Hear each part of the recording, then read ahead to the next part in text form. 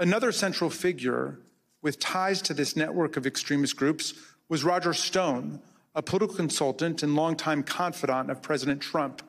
He pardoned both Flynn and Stone in the weeks between the election on November 3rd and January 6th. In the same time frame, Stone communicated with both the Proud Boys and the Oath Keepers regularly. The committee obtained encrypted content from a group chat from a group chat called Friends of Stone, FOS, which included Stone, Rhodes, Tarrio, and Ali Alexander. The chat focused on various pro-Trump events in November and December of 2020, as well as January 6th. As you can see here, Stewart Rhodes himself urged the Friends of Stone to have people go to their state capitals if they cannot make it to Washington for the first Million MAGA March on November 14th. These Friends of Roger Stone had a significant presence at multiple pro-Trump events after the election, including in Washington on December the 12th. On that day, Stewart Rhodes called for Donald Trump to invoke martial law, promising bloodshed if he did not.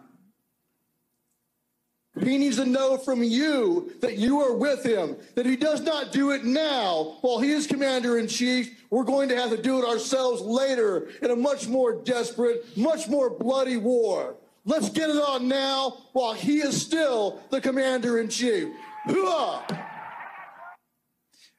That night, the Proud Boys engaged in violence on the streets of Washington and hurled aggressive insults at the police.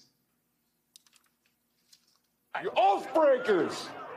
Do your fucking job! Give us one hour! One hour! Just the previous night, the co-host of InfoWars issued an ominous warning at a rally alongside Roger Stone and Proud Boys leader Enrique Tarrio.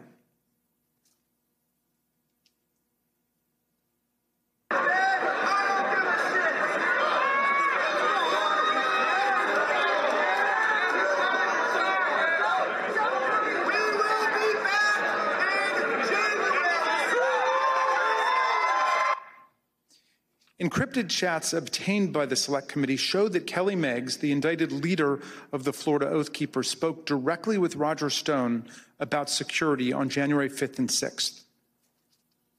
In fact, on January 6th, Stone was guarded by two Oath Keepers who have since been criminally indicted for seditious conspiracy. One of them later pleaded guilty, and according to the Department of Justice, admitted that the Oath Keepers were ready to use, quote, lethal force if necessary against anyone who tried to remove President Trump from the White House, including the National Guard. As we've seen, the Proud Boys were also part of the Friends of Stone network. Stone's ties to the Proud Boys go back many years. He's even taken their so-called fraternity creed required for the first level of initiation to the group.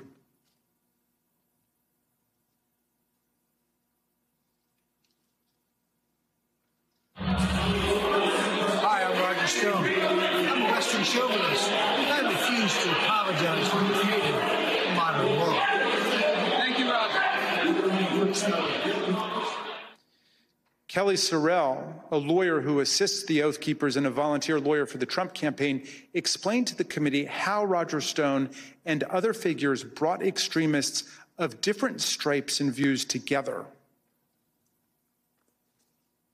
You mentioned that Mr. Stone wanted to start the Stop the Steal series of rallies. Who did you consider the leader of these rallies? It sounds like, from what you just said, it was Mr. Stone, Mr. Jones, and Mr. Ali Alexander. Is that correct? Those are the ones that became like the the center point for everything.